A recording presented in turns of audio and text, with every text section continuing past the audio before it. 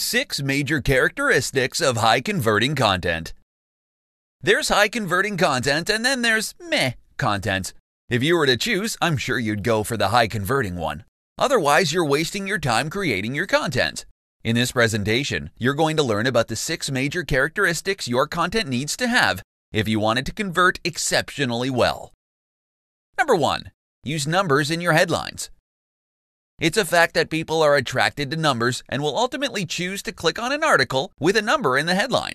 Titles like Five Different Ways to Earn $1,000 Online in as little as seven days will get more clicks than a generic title like Easy Ways to Earn Money Online. Number two, clear headlines perform better. Clickbait titles are out.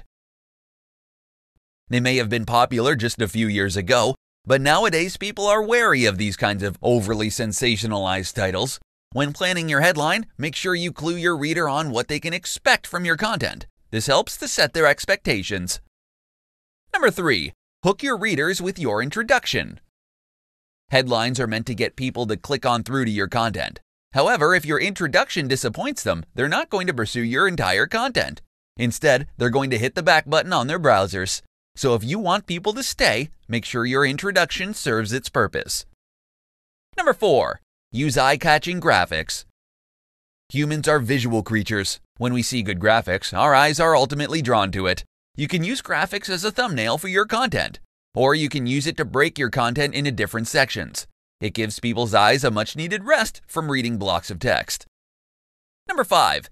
Use plenty of white space. If you've got too many things going on on your site, you're basically making it hard for people to stay on your site and consume your content. White space is important in web and graphic design. It makes your site and your content look tidy and neat. It encourages people to read your content and make them feel comfortable while doing so. Number 6. Clear call to action. Your content needs a prominent call to action. This is why you're doing content marketing in the first place. You want people to follow your call to action. If you hide your CTA in an obscure location, then people are going to get confused and they'll leave your site without doing anything.